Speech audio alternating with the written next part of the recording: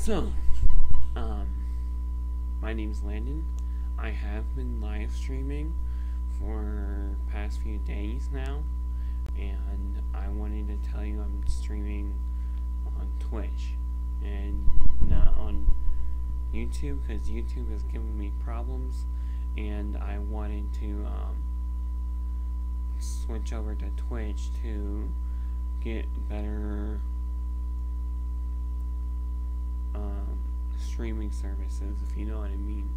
So, if you want to watch me play the Sky Factory 1 series, you gotta watch me on Twitch. I've been daily do, doing it daily at 8. I have it set up at 8 o'clock today, so I can do a little bit more with the live stream. And also on Twitch, I'm going to do a chess live stream around 4 o'clock, so be ready for that thank you guys for watching this short clip, but I have to go.